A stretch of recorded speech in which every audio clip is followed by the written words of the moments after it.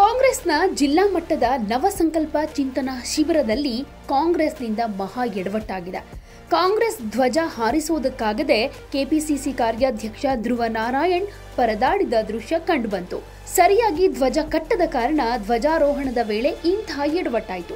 ತುಂಬಾ ಎಳೆದ್ರೂ ಕೂಡ ಆ ಧ್ವಜಕ್ಕೆ ಕಟ್ಟಿದ್ದ ಹಗ್ಗ ಮಾತ್ರ ಬಿಚ್ಕೊಳ್ತಾ ಇರಲಿಲ್ಲ.